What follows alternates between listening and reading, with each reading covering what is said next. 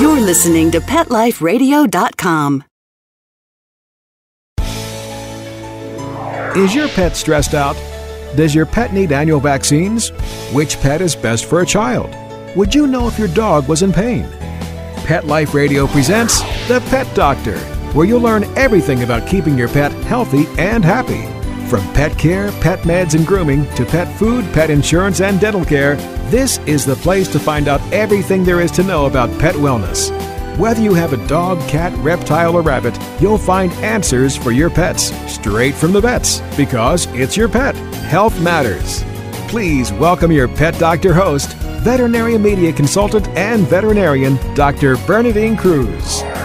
How do you know if your pet is experiencing a medical emergency and should be seen by a veterinarian? If you think it's an emergency, then it is one. Don't wait. Don't play amateur veterinarian and scour the internet for the answer. Don't call your best friend and see what they have to say. It's better to be cautious rather than have matters worsen. Problems caught early are typically easier to treat and have a better outcome and cost less to manage. My guest today knows all about emergencies. Dr. Heather Mineo not only works at a referral animal hospital, one with a variety of specialists, but she's one of a handful of veterinarians in the United States who's a criticalist, board certified in veterinary emergency and critical care. We'll be right back after this short message. So sit, stay.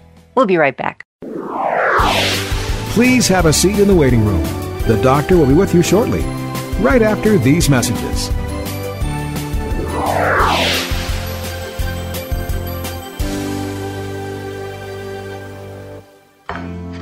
I'm not much of a reader, but I do wish I were more well read. There are so many great books coming out. I wish I could find a way to keep up.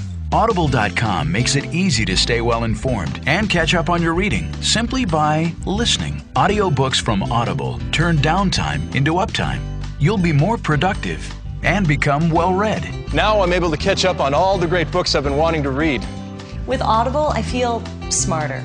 Pet Life Radio listeners, try audible.com now and get your first 30 days of Audible Listener Gold membership plan free. And get a free audiobook. Choose from over 100,000 titles. To get this great deal, go to audibledeals.com. That's audibledeals.com.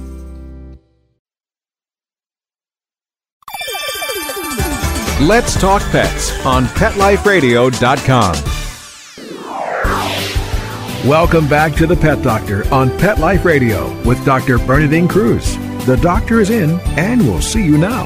Dr. Mineo, thank you so much. I know because you are right down the street from my practice. I have sent you cases that are going, oh my goodness, I need help. So you are the one that helps me. Tell me, how did you get into critical care? That is a high stress type of a profession. It is a high stress job, that's right. I don't really have a, a great step by step story for why I got into critical care. I think that I saw enough emergency cases as I was starting out as a veterinarian and um you know, those first cases come in the door and you're just panicked and your adrenaline spikes and you and you don't know what to do. But I've been doing this for a while now and I've grown more and more comfortable with it and I think I find myself craving the adrenaline rush of not knowing what's going to come in the door. I I appreciate the the less than mundane cases that walk in and and never knowing what's going to come at me. So it's been a fun journey. It's something I still very uh, enjoy very much, and um, you know that's just uh, I think what my where my particular skill set lies. So you'd either be a shark cage diver or a criticalist veterinarian. I like it. How does a veterinarian become a criticalist? What are the extra steps? So we all go through veterinary school, we're all exposed to, you know, the same type of curriculum, but then all of a sudden different people find areas that are of interest. So you found critical care. What did you have to do extra? When I went to vet school, we didn't specialize. Some of the vet schools, the students that are there do either a small animal track or a large animal track. I did everything. And I found myself paying close attention to details that other people maybe didn't. So that led me to pursue uh, an internship. I did a small uh, an internship for about a year at uh, VCA Manhattan Veterinary Group in New York City. And that encompassed small animal internal medicine and surgery. And I, for the first time, you know, had to be a veterinarian on my own. In the middle of the night, you're there by yourself with your nurses, and um, the pressure's on you. And I happened to do quite well in that. So I decided to pursue a residency, uh, which is an additional three years worth of training. And I did my residency in critical care and emergency medicine at a small private uh, practice here in Southern California. So three years of that, and then I had to take a three-day examination to uh, to prove my knowledge and my worth, uh, so that I could become a member of the College of uh, Veterinary Emergency and Critical Care. And that was definitely high stress. There are very few of you, and thankfully, anybody, a veterinarian in particular, and our clients I know, so appreciate it because there are times you need somebody who can think into that high pressure and have so many problems going on. You know, we've all watched television and seen the ERs in human hospitals. I know the same thing happens there at your facility at VMSG. So, yes, veterinary medical specialty hospital, so group. So, it is wonderful. What's some of the hardest part about your job? Uh, well, the hardest part is having to explain to clients the unexpected. They come in knowing that their animals are sick, but maybe not understanding exactly how sick they are. So it's tough to meet somebody for the first time. You know, I don't have established client relationships in most of these cases. These are pet owners and pets that often I'm seeing for the very first time and and I have to meet those people and explain to them that their animal is sometimes uh, experiencing a life-threatening illness or you know, worse, has passed away. And that's the hardest part. You know, it's no fun for any of us to lose patients. That's just not why we're here. But when you haven't made friends with these owners, you know, they come in and they're upset and they and they're stressed out and they don't understand exactly what's going on. And it was fine yesterday, Doc, and and, and now you're telling me it's dying. Right.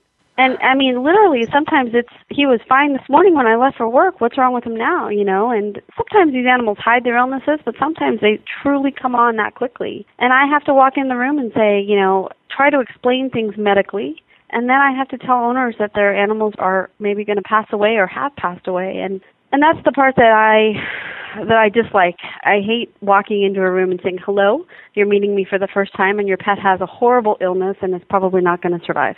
But it's the reality, unfortunately, of, of being an emergency and critical care doctor. We see a lot of traumas and, and really serious illnesses that come up at inopportune times, you know, Sunday mornings and Friday evenings when the family veterinarians are closed. And so, so that's the hardest part. That's the part that I just, I hate to say hate, but I just, I, it, I don't look forward to that at all. It's, that's the hardest part for sure. I empathize with you because, yes, people come in. I've had that opportunity so many times to build that relationship over the life of the pet and got to know it from the time it was a, kitten and now it's older and going, yeah, you know, we've been following this and we knew that Fluff was getting older and is having problems, but here you are. Communications is so important. And oftentimes they just need to feel like I need to strike out and I'm mad at everybody. So, you know, take it out on you. And then there's finances that come involved with this too.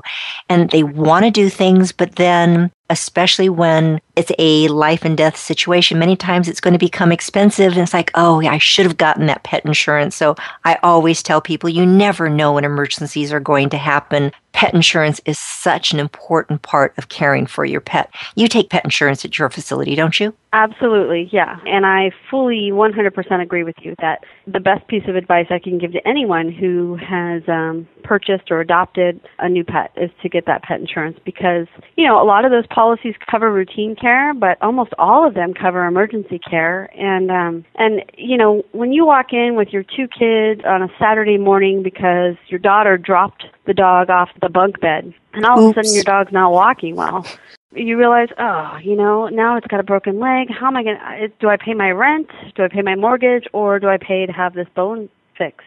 And, you know, a lot of these problems are, are fixable but money is a big problem and that's that's probably the thing I hate second most after having owners lose their pets is having to explain to owners, you know, look, it's going to cost X number, hundreds or thousands of dollars to get it fixed, but we can get it fixed. And they say, you know, I just don't have it. And if you don't have pet insurance, you know, that makes these these situations a lot harder. And it's hard on owners, you know, because they they blame themselves. Accidents happen, and and uh, you know sometimes animals eat things, or you know they have problems that are fixable with appropriate medical care. But that care costs money, and if if you don't have that emergency savings fund, or you can't afford the credit card bill, you know, and you don't have pet insurance, then then we're really in trouble.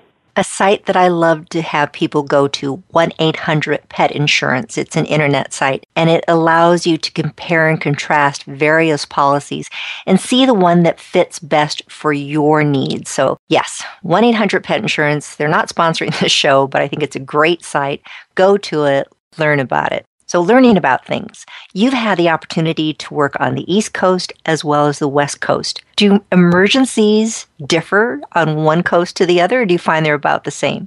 No, I, I think they absolutely differ. You know, on the East Coast, they have to deal with a lot more cold weather uh, than we have to deal with here. When I practiced in Manhattan, you know, virtually everyone lives in some sort of high-rise building, and so there's actually a, a condition called high-rise syndrome. Uh, typically, cats that fall out of the windows in these high-rise apartment buildings, and they suffer a varying degree of injuries depending on which floor they fell from there's probably more antifreeze ingestion and toxicity in the East Coast because of the colder weather. California, we have rattlesnakes. They don't have rattlesnakes in New York City, in case you were wondering.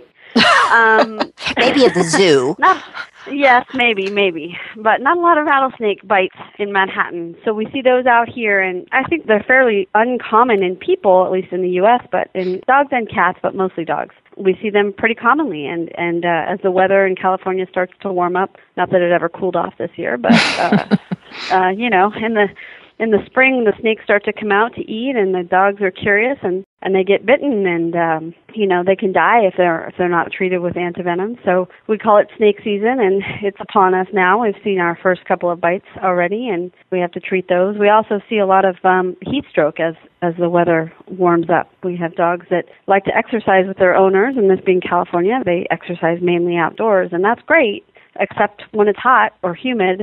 And by hot, I mean, you know, 80 degrees will be enough, especially if you've got a, a flat faced dog like a pug or a, a bulldog or a boxer. You take those or dogs out running with you.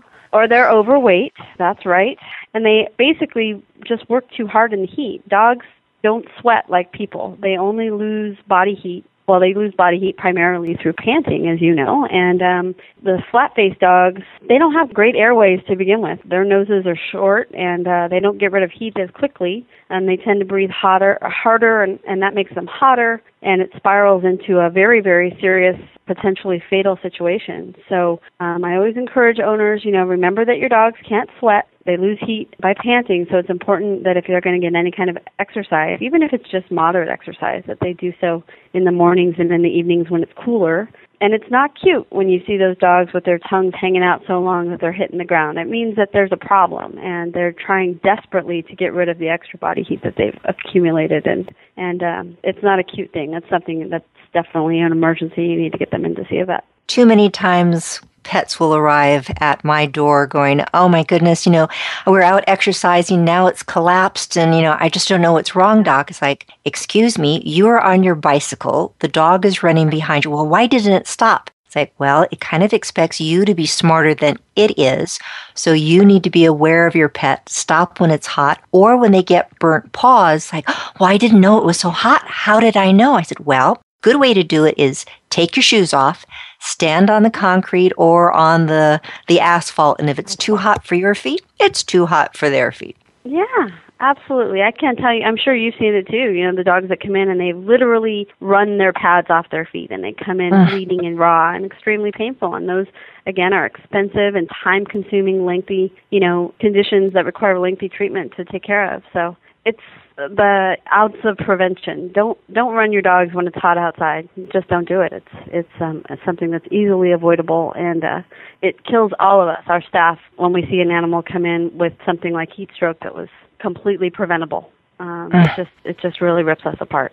What are some of the common emergencies that sometimes people try to ignore? Once you say, oh, and afterwards they go in retrospect, if I'd only known. I would have brought this in so much sooner, Doc. I just thought it was X. What are you seeing?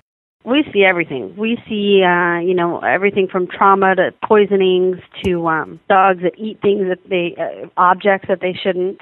I guess that's the the one one of the things there is when when a dog eats something that it shouldn't, whether it's uh, your kid's sock or your underwear or a tennis ball or a rock you know, veterinarians have medications that we can use to make those dogs vomit. And oftentimes when we do that, they'll bring up the offending object and sometimes they won't. And if they don't, places like my hospital, the MSG, we have an endoscope. And you And can retrieve that- amazing things with those. Oh yeah.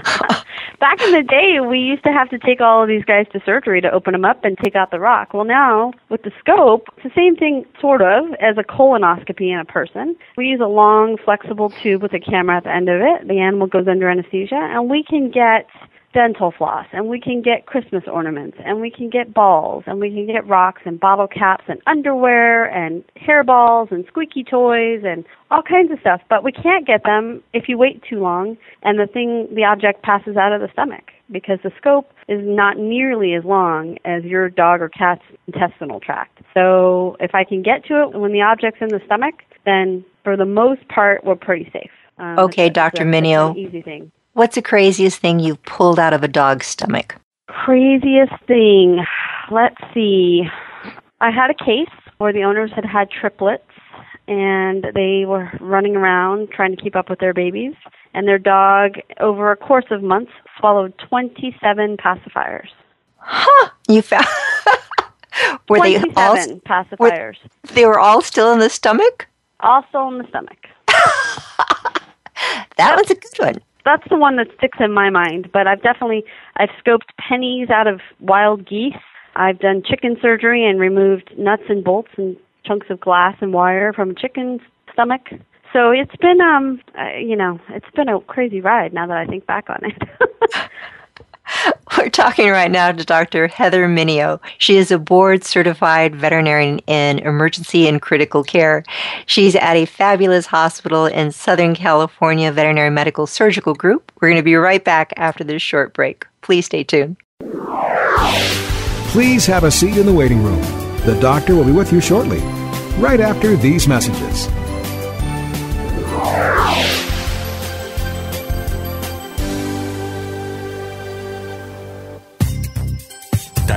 The new Dyson Animal Vacs are powerful bagless upright vacuums for homes with pets. Air muscle and Radial Root cyclone technology generates the strongest suction power to powerfully remove dust, dirt, and pet hair from the home or car. To order your Dyson Animal Vac, go to DysonDeals.com. DysonDeals.com to order your Dyson Animal Vac today.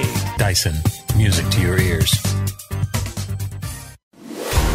Victoria Schaefer, aspiring actress, babysitter extraordinaire, college student, and animal enthusiast, is on her own for the first time in New York City. Follow Victoria and her two dogs, Rue and Echo, as she cares for her furry friends and juggles home life and career, all the while managing to survive in the world's most hectic city. The exciting animal adventures and secret stories from both ends of the leash that make up the Tales of the City.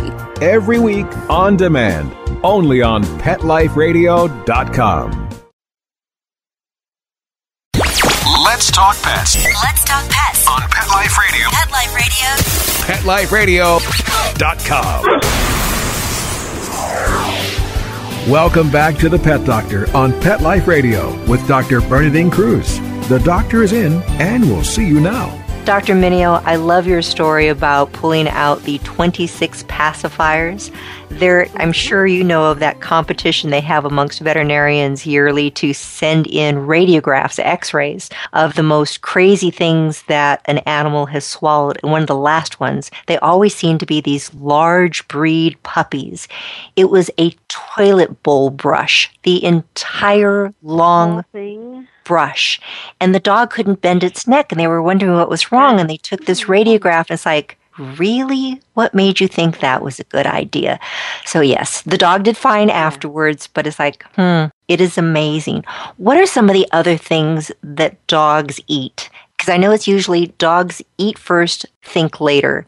What are some of the most common ones that are toxic to pets? Cats and dogs You're right. Dogs definitely like to uh, to eat things that they shouldn't. Uh, cats less so, but they still do the same thing.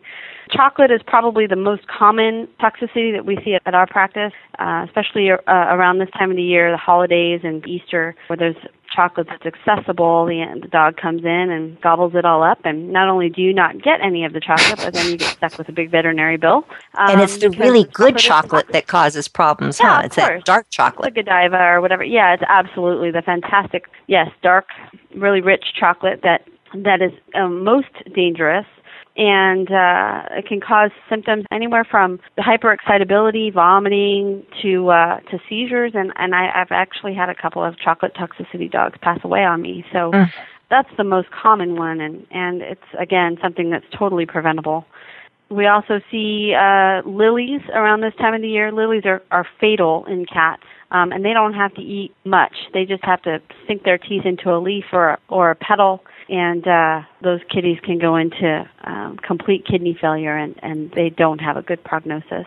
I've heard it's even uh, some of the pollen that can get on things that can cause problems. Yeah. So it's not even just a small amount. Scary.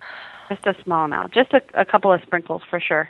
Human medications are another big concern. People find their dogs kind of yeah, maybe old and creaky, you know, and they're uh, acting a little uncomfortable, so they'll they'll give them a couple of Tylenol or a couple of Advil. And and human medications are are in a lot of cases really just meant for people. They're not metabolized normally or in the same way by dogs and cats, and so they can cause liver and kidney damage that can be severe in some cases. So that's always something when grandma comes over and she drops her blood pressure medication on the floor and the little dog runs over and picks it up, swallows it, that's that's a problem. So so those are cases that we don't like to see but that we see fairly often. How about medical um, marijuana? A lot of people yep. are now using it and think, oh, it's kind of fun to get my dog or cat high, or oh, it's kind of achy creaky, let's give it some medical marijuana. What are the problems with that? Because I know there's been a lot of controversy. There actually are marijuana products that are marketed for dogs. You know, they call it sort of calming or eases the pain and this and that. And it's very misleading and, and frankly very dangerous because dogs and cats do not metabolize THC well. And THC, as most people know, is the active ingredient in marijuana, and it's it's what gets you high. And um, in medical marijuana, it's you may not get high, but it's still an active ingredient. Those dogs and cats come in, and it's mostly dogs, and you can tell they look stoned. Honestly, they uh, they have big dilated pupils, and they are sort of floppy and non-responsive. And in some cases, they can have heart arrhythmias, they can have seizures, they can have low body temperatures and so those are cases that we usually uh, we don't induce vomiting in those, but we usually treat them with activated charcoal to um, to bind to the THC that's still in their system and and some fluids and and hope that we're not going to end up with a ventilator patient because that patient's depressed enough that he or she stops breathing. So absolutely there is no indication for marijuana use in dogs or cats no matter what the label says. There have been times when I've worked emergency clinic or when I've had a client bring in a pet that I really think has gotten into some type of recreational medication, in particular drug. And you ask them, oh no, no, didn't get into anything. It's like, and finally, after you try to build up a rapport with them, going, I don't care what it got into. I'm not calling the police. I just need to take care of your pet. Could it have gotten into some illicit drug? Oh, yeah, it got into my stash. So people should always be very upfront and let the emergency veterinarian, let their veterinarian know what a pet may have gotten into. It's the only thing to help the pet. That's right. I'm not going to call the police. I just want to help your animal. So the more honest you can be with me and the faster you can you can decide to be honest with me the better the outcome. Whether it's i mean i've treated everything from marijuana dogs to cocaine dogs crack cocaine you know methamphetamine. Just tell us what it is. I honestly could care less what you do in your spare time at home to yourself. I'm just here to help your pet. So yeah I, this honesty you know could save your animal's life. There's no question. The other thing I think that's so important too is to people to bring in the product if at all possible. You know, using things like, oh, I put snail bait outside, and there's different types of snail bait and how you treat it, or even things like flea preventatives, the topicals. It says, you know, I just put a little bit on, doc. Talk about flea products. I think that's really important, please. Absolutely, and and I, I agree. Whenever your pet comes to the hospital, bring whatever it's gotten into. Bring the box, bring the label, whether it's your medication or a poison of some kind, and bring the pet's medications. You know, sometimes they're going to be admitted to the hospital. They're going to need those medications. So always bring as much information with you as you can. We may send it back, but it really helps us to have it up front. The flea preventatives, that's another big one. You know, we'll find owners who purchase mostly the topical flea products, the liquids that you put on on their back and between their shoulder blades. And they'll take that liquid and they'll put it on their dog and then they'll put just a couple of drops or a smaller amount on their cat because their cat might have fleas and they don't want them to have fleas. And the big issue there is that dog flea products contain chemicals in them that are fine for dogs and work on dogs but are actually toxic to cats. So we just had another case this week of a kitty who was treated with the dog's uh, flea liquid, and they didn't know what was wrong with this kitty. And this kitty came in just shaking like a leaf, ended up having some seizures, was in the hospital for a couple of days, and thankfully made a good recovery. But we see them come in seizuring with low blood sugar and that sort of thing just because the owners haven't read the label carefully. And virtually all of these products state very clearly for use in dogs only, do not use in cats. So owners need to pay attention. Cats and dogs are different. They're not the same. And what might be safe for one may not be safe for the other. So very important, especially with flea medications, to make sure that you're using a cat product for a cat and a dog product for a dog. So many people think, and veterinarians, I think, for a long time too, as well, cats are little dogs and dogs are little people. So we can kind of extrapolate one from the other of medications or, or treatments. And as you said, they really are not the same beast. They're not just little dogs. What are some other things that cats do that can compromise their health? Oh, cats. Cats are, I know you're a big cat fan as an emergency veterinarian, cats are they're just a mystery sometimes, you know? They they have instincts for survival. And so kitties will hide their illnesses for as long as they possibly can until they're too sick to be able to hide it anymore. So they could be in horrible kidney failure and be eating and walking around the house on Monday, but on Tuesday it's just too much for them and they're flat. And again, it's a situation where the owner comes in and he says, you know, my cat was fine yesterday. I don't understand, you know, what do you mean it's this bad? And, you know, you have to explain, look, kitties will hide everything for you until they just are so sick they can't do it anymore. Dogs sometimes do that as well, especially with pain. But cats, they don't read the books. They we're taught as veterinarians uh, that there's there are certain sort of expectations as far as how a sick pet behaves and how to figure out what the illness is based on the symptoms. Cats didn't go to veterinary school. they write their own rules. They do it all by themselves. So their instincts are to act healthy as part of a method of survival because in the wild, sick and, and weak animals become food for other animals. So cats will will not act like there's anything wrong until it's very bad.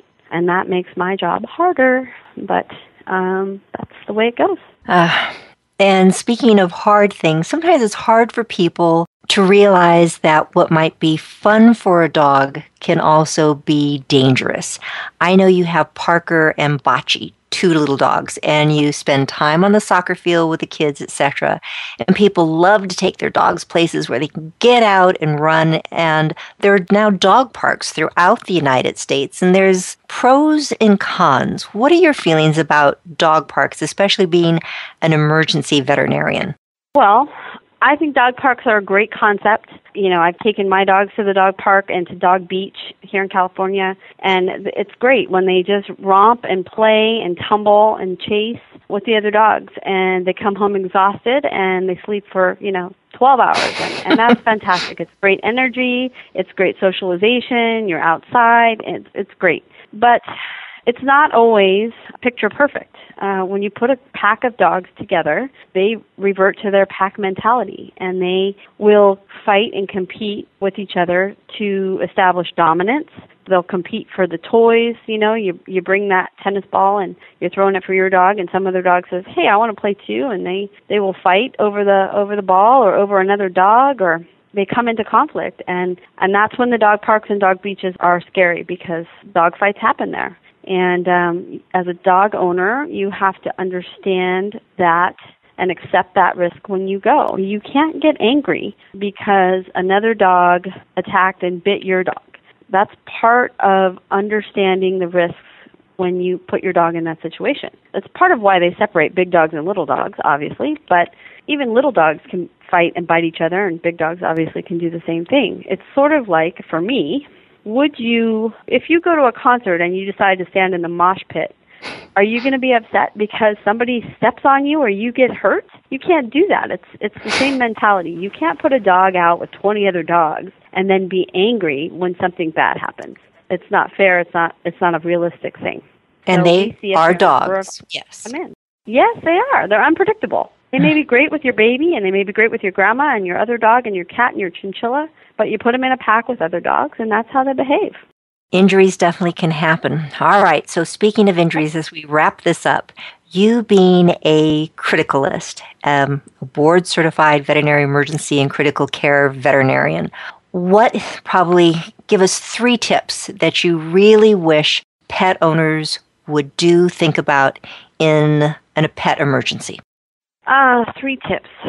The first thing I would say is, you know, if you're worried that something is wrong with your pet, then call a veterinarian in most cases, you'll at least get to talk to a veterinary nurse and they can tell you, oh, this doesn't sound good, or oh, yeah, that might be a normal behavior. And they can give you some recommendations about whether or not your pet should be seen by a veterinarian. At some hospitals, uh, including my own, you oftentimes will be able to speak to a doctor over the phone. And I can't make a diagnosis while your dog's at home and I'm on the phone with you but I can ask more sort of pointed questions, get to the bottom of things, and tell you whether or not your pet needs to be seen. I can't give you medical advice. I can't prescribe medications over the phone if I've never met your pet.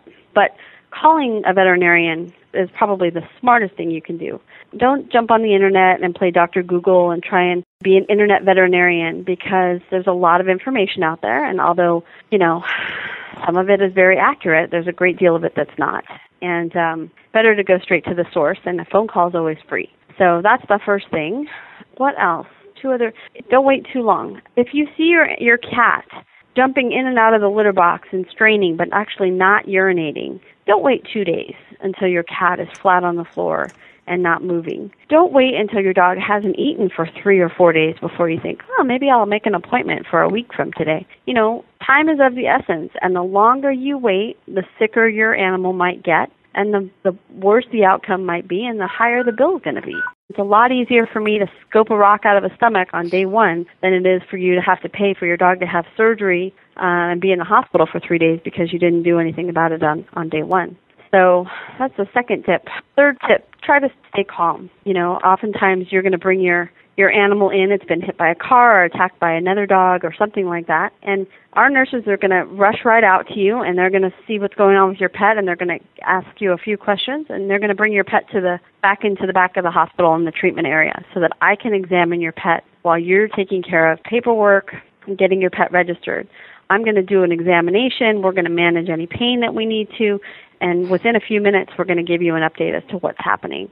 But don't insist on coming back to the treatment area with your pet. It's just not it's not helpful to anyone. It's not practical, and it really can be very emotionally stressful to your animal to um, have you be there and be very very upset while we're trying to assess him medically. So be patient. You know, with us, we're there to help. We're not going to rack up a huge bill right when you walk in the door but we are going to uh, assess your pet, do what needs to be done, and if there are any immediate life-saving measures, and we're going to, and then we'll update you as quickly as we can. So, so just keep that in mind that we're there to help. Dr. Heather Mineo, this has just been some great information. Hopefully, people will realize yes, be patient. Veterinarians are there to help. Don't wait too long. Get pet insurance. And if there's a question, call your veterinarian. So, so important. Thank you so much for being with us today, Dr. Mineo. I really do appreciate it. Thanks for having me. I had a good time. Thanks, Dr. Good. Well, thank you very much for listening. This is Dr. Bernadine Cruz on The Pet Doctor. Please tune in again next week. We'll have more information on how to make you the best possible pet owner. Thanks for listening. Have a great week. Pets can be a wonderful addition to your life because they're a member of the family. Keeping them healthy and happy is important. Pet Life Radio presents The Pet Doctor with veterinary media consultant and veterinarian Dr. Bernadine Cruz. Whether you have a dog, cat, reptile, or rabbit, you'll find answers for your pets straight from the vets. The Pet Doctor, on demand every week only on PetLifeRadio.com.